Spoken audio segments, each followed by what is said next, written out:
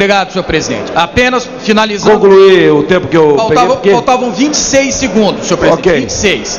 Para dizer então a todos os deputados e deputadas que nesta reunião de hoje, deputado Paulo Teixeira, relator geral, deputado Miro Teixeira, vice-presidente e eu, ajustamos os últimos detalhes para a apresentação do substitutivo que será lido amanhã pelo deputado Paulo Teixeira, ouvindo todos os deputados para incorporar as sugestões a fim de termos um Código de Processo Civil simplificado e que agilize a justiça. Muito obrigado pela santa paciência. Tá encerrado agora. presidente. Obrigado.